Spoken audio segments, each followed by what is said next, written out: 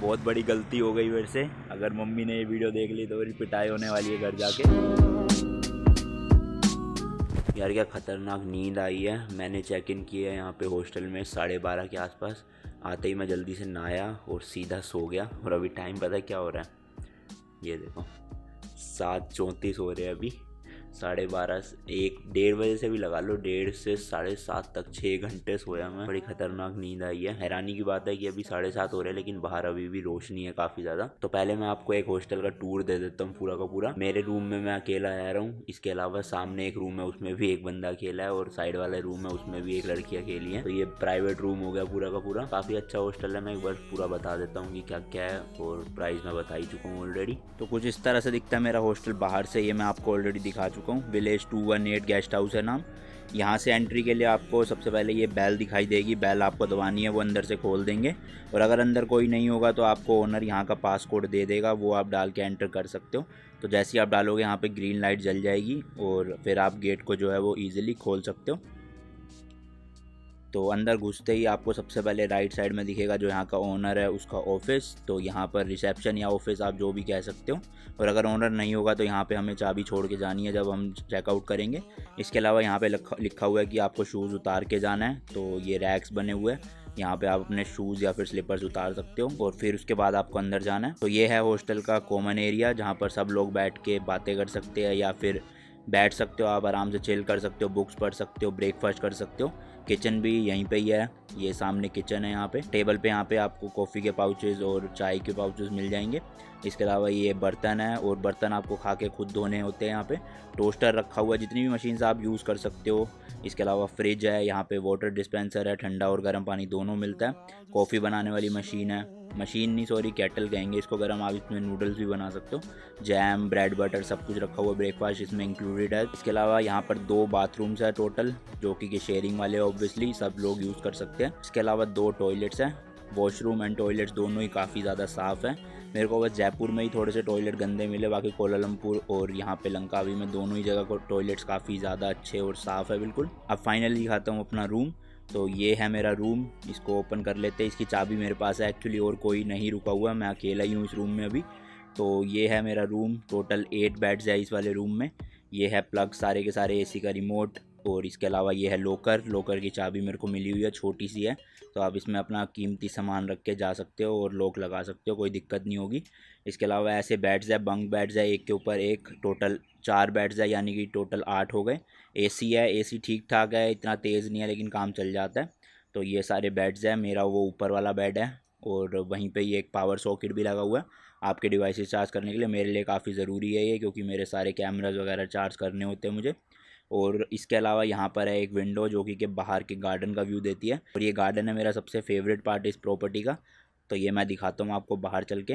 तो गेट के जब बाहर निकलोगे लेफ़्ट साइड में ये ये गार्डन पड़ता है इस गेस्ट हाउस का। यहाँ पे अपने आप टू व्हीलर खड़े कर सकते हो रात को। और ये पूरा गार्डन है, कितना खूबसूरत गार्डन है। और इसी गार्डन की वजह से मैंने इतनी दूर ये गेस्ट हाउस बुक किया है। आप आराम से शोर से दूर चिल कर सकते हो, यहाँ पर बैठ सकते हो आप। और यहाँ पर ये बारबेक्यू होगा आज रात को।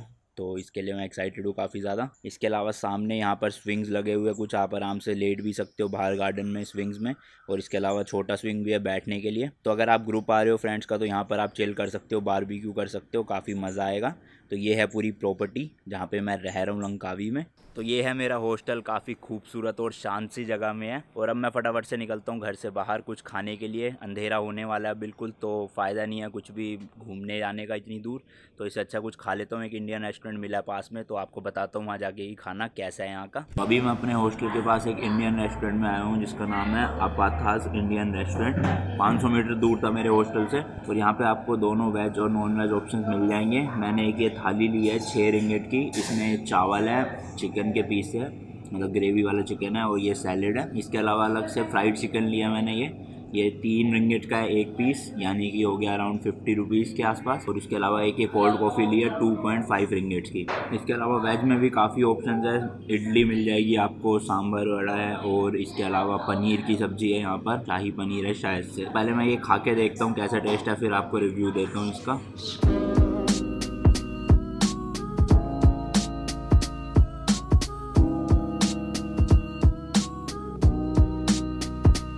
तो यार खाना तो कहना पड़ेगा, काफ़ी टेस्टी था।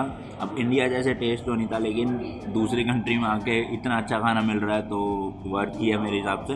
और बजट के हिसाब से भी काफ़ी सही है जगह। तो एक और मेन्यू मिला है मुझे यहाँ पर।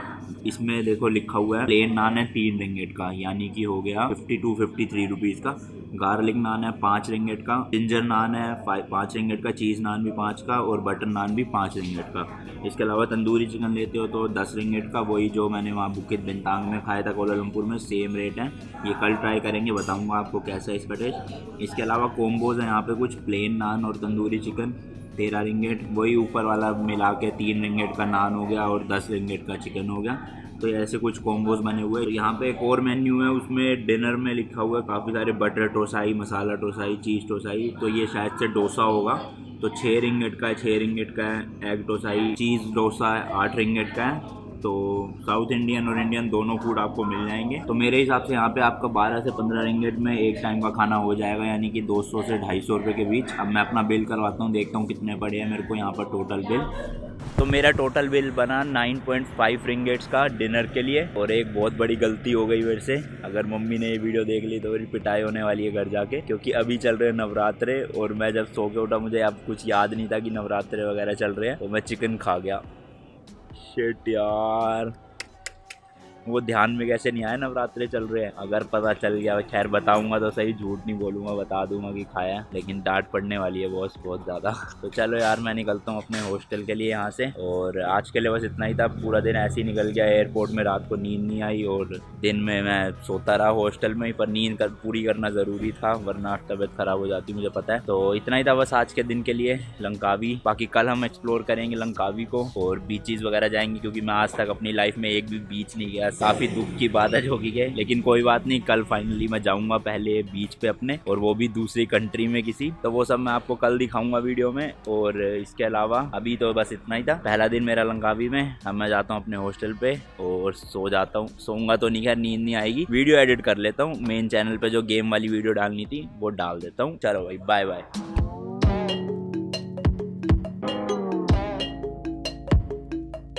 तो यार अब बात कर लेते हैं आज के टोटल खर्चे की। सबसे पहले मैंने हॉस्टल लिया बाईस रिंगेट्स का, जो कि पड़ा फोर ट्वेंटी रुपीज़ का। उसके बाद मैंने स्कूटर रेंट पे लिया तीस रिंगेट्स का, यानी कि फाइव ट्वेंटी रुपीज़ लंच करा मैंने दस रिंगेट का, जो मैंने आपको नहीं दिखाया था, मैं दोपहर को व्लॉग नहीं कर रहा था क्योंकि। तो उसमें मैंने यहाँ की एक वो लोकल डिश खाई थी, जो मैंने मलेशिया में ट्राई करी थी नासी करके कुछ ऐसा था। फ्राइड राइस मिलते हैं उसमें। तो वो दस रिंगेट का था, यानी कि वन सेवेंटी फाइव रुपीज़ इसके बाद अब मैंने सीधा डिनर करा, क्योंकि दोपहर को सो गया था मैं नाइन पॉइंट फाइव रिंगेट का, यानी कि वन सेवेंटी रुपीज़ अच्छा डिनर में उस कॉफ़ी के साथ साथ एक पानी की बोतल भी ली थी तो वो नाइन पॉइंट फाइव रिंगेट जब बना था। तो यही खर्चा हुआ आज के दिन मेरा, यानी कि टोटल पड़ा है मेरे को सेवेंटी टू रिंगेट और इंडियन करेंसी में बात करी जाए तो बारह सौ साठ रुपये तो ये आज का पूरा खर्चा था टोटल कल थोड़ा सा ज़्यादा हो सकता है, कम भी हो सकता है, क्योंकि काफ़ी जगह घूमने जाना है मेरे को।